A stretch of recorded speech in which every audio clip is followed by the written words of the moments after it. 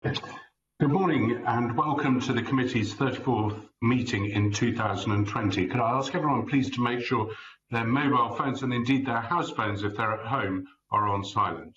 The meeting will be conducted in virtual format today and apologies have been received from Oliver Mundell and Jamie Halcro Johnston is attending the committee as a substitute. The first item on the agenda is subordinate legislation. This item is to consider one affirmative instrument as detailed on the agenda. The committee will take evidence on the Rural Development EU Exit Scotland Amendment Regulations 2020. Motion seeking for approval of the affirmative instrument will be considered at item two. Uh, members should note there have been no representations to the committee on this instrument. And I'd like to welcome from the Scottish Government Fergus Ewing, the Cabinet Secretary for the Rural Economy and Tourism, Lewis Kerr, a lawyer for the Scottish Government's Legal Directorate, and James Muldoon, the Head of Agricultural Support Policy Division Unit of the Scottish Government. Now, Cabinet Secretary, good morning. Would you like to make an opening statement on this SSI? Uh, well, good morning, and uh, thank you for the opportunity to uh, make an opening statement and for the committee taking the time to consider these very important regulations. The draft Rural Development EU Exit Scotland Amendment Regulations 220 were laid using the powers conferred by the European uh, Union Withdrawal Act 218 and uh, the Agricultural Retained EU Law and Data Scotland Act 2020. These regulations are mainly technical. They don't make any significant changes to the retained EU legislation that will govern rural development in Scotland and the Scottish Rural Development Programme from 2021.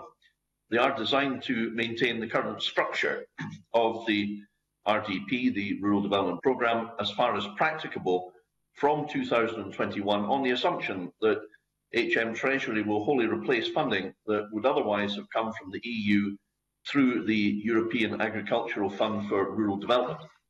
These regulations will help ensure that for 2021 and subsequent years, we can make rural support payments and continue to operate our rural development schemes in Scotland. And that, convener, is the, is the primary function of these regulations. Process, not policy, if you see what I, what I mean.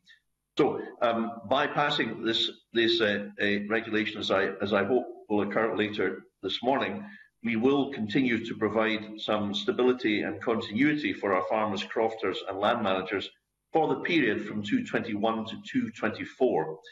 The regulations will also simplify and improve the operation of the retained EU CAP legislation where appropriate and correct outstanding deficiencies resulting from EU exit to ensure continued, op continued operation from the end of the transition period. Convener, my officials and I are happy to answer any questions that committee members may have. Thank you. Uh, thank you very much, uh, Cabinet Secretary. And at the moment, I just see one question uh, lined up, which is from John Finnie. Good morning, John. Uh, microphone is yours. Uh, good morning, Convener. Good morning, Cabinet Secretary and your officials. Cabinet Secretary, can I ask you a question, please, about organic farming, please? Um, regulations 4 uh, bracket 6, and of course I'm, I'm, blessed with having a brief. These are very technical matters. I appreciate that.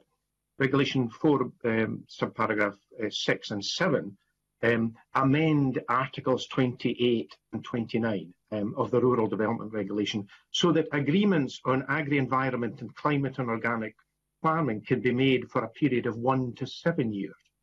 Now, in Scotland, that refers to the Agri-Environment Climate Scheme and to the Organic Conversion and Maintenance Schemes. Um, under current EU law, agreements between land manager and Scottish Government last for five, seven years. So the, the significant point here being changed from five to seven um, to one to seven, during which time the land manager must carry out specified management interventions to benefit the environment or as part of converting to or managing an organic holding. And didn't see mention of this in the, the policy note, so it's not clear why this change has been made or what consultation, if any, there's been. Um, and no further information provided on the situations where management agreements for less than five years are being considered. I wonder if you your, excuse me, if you or your officials could comment on this, please. I have no objection to the the, the, the, the principle and will be supporting it, but some clarification would be helpful. Well, uh, Cabinet well, Secretary. Uh, thank you, Convener. Um, I'll, I'll, pass, I think, to probably Mr. Kerr in a moment as the, the solicitor, because I think Mr. Finnie's question uh, was largely technical, and therefore I, I, I, would like Mr. Kerr to give a technical answer. But just before I pass to Mr. Kerr, can I say that obviously the Scottish Government is supportive of organic farming. We have been, we will continue to be. Um, Ms. Cunningham and myself uh, recently discussed the future of, of AECS, the Agricultural Environment Scheme, which Mr. Finnie is well aware, which includes uh, support for organic, and obviously we believe that that should continue to be the case uh, on an appropriate level. The, the second point I make before passing to Mr. Kerr is that, um, you know, without straying into political arguments, convener, because I don't think that's appropriate for this technical um, amendment, the, the, the kind of benefit of the EU programme for this type of scheme is the long-term nature of the SRDP of over seven years. And that long-term nature is consistent with the fact that most environment schemes, and indeed many farming developments, uh, take more than one year to come to fruition. And therefore, the clarity and certainty of knowing that funding is available over a longer period, I think was a, a, a, a beneficial characteristic of the scheme which we were leaving it's not yet clear whether a multi-annual approach will be favoured in the future. But as I say, I don't want to strain the politics. So could I, with your consent, convener, pass to Mr Kerr, answer Mr Finnie's um, very reasonable technical point? Lewis. Good morning. Thanks for the question. Um, the position of the Scottish Government as regards these amendments was to introduce um, some additional flexibility as to um, the timescales for which these commitments can be entered into. Um, in terms of the policy rationale behind that decision, um, I would refer to my colleague James um, to add a little bit of detail in that respect. Okay, um, James, you want to uh, come in on that? Yes, yes, very, very, very happy to. Um, the core piece. Um, sorry, am I on? Yes, James, we can hear you. Okay, sorry. Excellent. The, uh, the, the core reason is the, the, the flexibility that was mentioned. Um, the, the cabinet secretary noted the SRDP scheme as from the EU is a seven-year period of committed funding, which allows um, a five to seven-year program to be designed. The policy rationale of removing that or changing that rather was to allow flexibility in terms of that expected ongoing commitment from UK government HMT to fund um, while we don't have a seven-year period on that uh, we needed to make sure that the flexibility was built in to have shorter term programs for that at present. Okay. Um, John Finnie, does that answer your question? Are you satisfied with that or would you like to push it further? Um, I, I, no, I'm grateful to the Cabinet Secretary and his officials. So I'll leave it there. Thank you, Commissioner. Thanks very much, John. Uh, now, I think Jamie Halcro Johnston would like to ask a question. Jamie, as this subject is on agriculture, uh, and I believe you have a, an interest you may wish to remind members of that uh, before you ask your question. Jamie. Uh, I do, convener. Thank you for reminding me. I was all ready to anyway. But um, um, so yes, if I can uh, draw members' attention to my register of interest, particularly in relation to um, being a partner in a farming business, Dave Halcro Johnston and Sons. Good morning, um, Cabinet Secretary and to team. I just had a, a, a quite a quick question. Um, one of the amendments uh, changes or removes the requirement for Scottish ministers to amend the rural development programme by legislation and allows for it to be amended administratively. And I just wondered if you could outline any um, areas or issues around parliamentary scrutiny that may uh, that may raise. Cabinet Secretary. Uh, uh, well, well, first of all, I think it would be correct just to, to welcome Mr. Halcro Johnston to his new responsibilities as the, um, as I understand it, the rural economy spokesperson for his party, and look forward to uh, seeking to work constructively together with with him. Um, sec secondly, um, a, most of the decisions which we take uh, with regard to um, SRDP are, are administrative decisions. But the question about scrutiny is is is uh, is apt obviously we are subject to scrutiny right now. We are subject to scrutiny continuously, as is appropriate by this committee, and we are subject to scrutiny in the chamber in oral questions, statements and debates. And that will continue. Um, I think the scrutiny generally looks at the principles of, of uh, what, what we're seeking to do and the political discussion as to the the uh, the question of what the right choices are to be made. But I don't think that I don't think there's any suggestion that the passage of this motion of this regulation today will in any way be to diminish Parliament's ability or right to scrutinise the actings of and decisions of myself in the Scottish Government and my colleagues. Cabinet Secretary, uh, one of your officials, Lewis, would like to come back in on this point. So, uh, uh, with your consent, I'd, I'd, like to bring him in. Uh, Lewis, I think you've got something to add. Hi there, thank you. Um, really, we just add a little context that um, in terms of current processes and any limitations on the type and frequency of amendments that may be made to the rural development programme remain unchanged as a result of this SSI.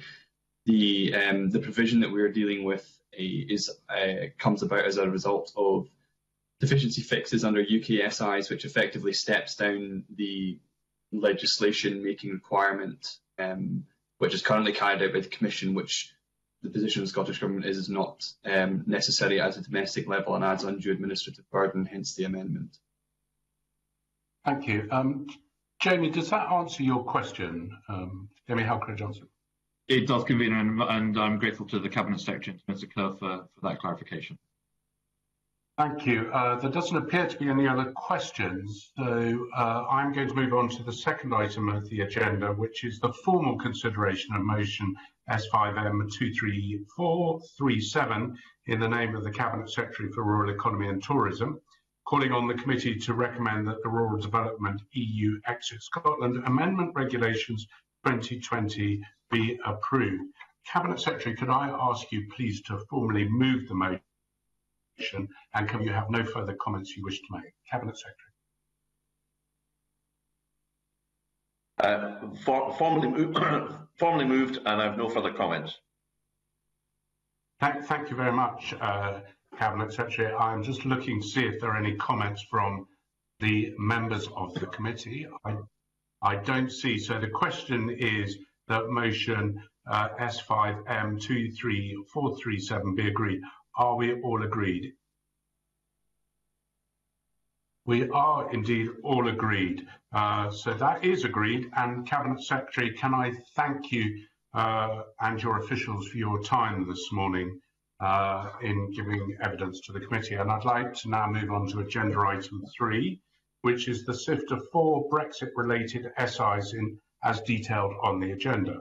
The Scottish Government has allocated the negative procedure to these SSIs. Is the committee agreed that it is content with the parliamentary procedures allocated to the instruments by the Scottish Government? I'm seeing general nods around. Good, okay. We'll then move on to agenda item four, which is the consideration of subordinate legislation. And this is the four negative instruments as detailed on the agenda. The Delegated Powers and Law Reform Committee considered the four negative instruments. No, uh, uh no issues were raised on three of the instruments, uh, but the Agriculture and Fisheries EU Exit Scotland Amendment Regulations 2020 were reported under the General Reporting Ground. Now, the committee may wish to note that the Scottish Government has undertaken to correct the error by correction slip, and no motions to annul have been received to these instruments. Does the committee have any comments that they wish to make? Uh, I don't see any comments. I therefore propose, uh, as the committee does not wish to make any recommendations in, uh, sorry, I therefore propose that the committee reports that it does not wish to make any recommendations in relation to these. Does any member disagree with this? No one's disagreeing, so therefore I'm taking that is agreed. So I'm going to move on to agenda items five and six, which is the European Withdrawal Act 2018. We have received consent notification in relation to two UK statutory instruments as detailed on items five and six on the agenda. Now, these instruments are being laid in the UK Parliament in relation to the European Union Withdrawal Act 2018. Both these instruments have been classified as Category B. Now, the clerks have brought forward the following issues to your attention in the papers in relation to the plant health SI. The committee had previously been advised that a summary of the plant health framework would be available by the end of 2020. It may wish to ask the Scottish Government when it's going to see that summary. In relation to the official controls, animals feed and food plant health SI, the committee may wish to make the point in responding to the Scottish Government that the timescales given for the scrutiny of this category B instrument were totally adequate. I would just point out and remind the committee that it was submitted to the committee on the 14th of December for consideration on the 16th of December. And there is no chance of delay because it has to be reported by the government on the 18th. Uh, the committee may also wish to note from the correspondence the Scottish Government is planning and the provisional common framework on animal health and welfare by the end of next week. This will be the provisional framework that goes live on the 1st of January. That means the committee will have no time to consider the framework before it goes live. From a scrutiny perspective, that's obviously far from ideal for such a significant framework. Now, I have said quite a lot at, at this stage, and I wondered if there are any committee members that wish to make a comment. I have various comments. I'm going to go to Richard Lyle, followed by Maureen Watt. Uh, Richard Lyle. Uh, I take on board your comments, convener. Can I ask uh, when the Scottish Government received them? Um, um, I will turn to the. Uh, I don't know is the simple answer. I can only report when we were given them by the committee. Yeah, because you know, at the end of the day, I can take your comment, but you know, it depends on when the Scottish Government receive, you know, so it's a chain, and, and if the cha- if the, the start of the chain is late, then the next uh, the Scottish Government is going to be late. And and I, I, if we're going to make comments, we should be making comments at the person who started the chain. Absolutely, Mr. Lyle, and I'm going to go to the deputy convener, if I may. Uh, the deputy convener, Maureen Watt. Maureen. Uh, thank you, convener, and good morning, everybody. Um, yes, uh, following on from what Richard said, I would not want to write to the Scottish Government asking why it was so late, because we know why it's so late. It's coming down the chain from uh, Westminster. We didn't ask in Scotland to do all these SSIs in relation to exiting the EU, and I think it's very unfair to be blaming the Scottish Government already dealing with a COVID situation that um, civil servants you know, should get this to us in a timely fashion when probably they don't get them from Westminster in a timely fashion. Thank you. Thank you, Maureen. And Stewart Stevenson, you are next. Stewart. Uh, thank you very much, Convener. Uh, I align myself with the remarks that you've made, uh, Convener, um, but just make the observation uh, that in properly highlighting the very limited time we had for, for, for looking at these, we attribute the reason for that to no one, because frankly, at the moment, we don't have anyone that we know. Uh, but it is a perfectly reasonable point for the committee to make, nonetheless. Convener. Thank you, uh, Stewart. I'm just looking to see if there's any other uh, comments. I think I think the the, the point the committee uh, is uh, members who've spoken have, have, reasonably made is we don't know the reasons why we were just given them, and therefore I think it is right the committee question whether there is sufficient time for scrutiny within the timescale. I don't think I suggested, um, and I don't think it would be right for the committee to blame uh, the Scottish government because we have no idea uh, the process exactly as Stewart said. Um, so I think I think that that, that those are all points, uh, good good points. So can I suggest that the committee uh, write uh, to the Scottish Government to confirm its content for the consent the UKSIs referred uh, to in the notification. And in doing so, it highlights uh, the additional points that we have discussed this morning regarding the lack of time for scrutiny um, without indicating who we think to blame is because we don't know who to blame is at this stage. But I think the fact uh, that we need to note that we two days is really not enough time uh, for the committee to do that. Can, can, I see if we have agreement to that?